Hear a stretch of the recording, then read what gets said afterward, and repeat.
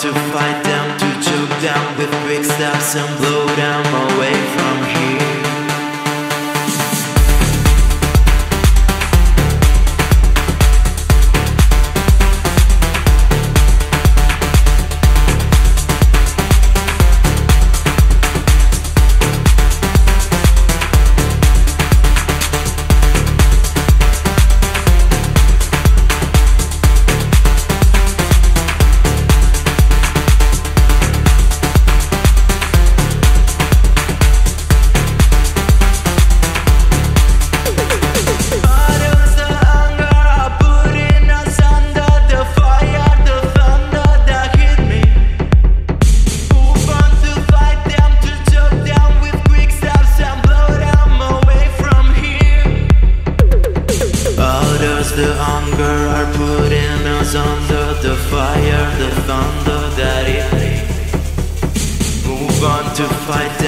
choked down with quick up, and blow down away from here.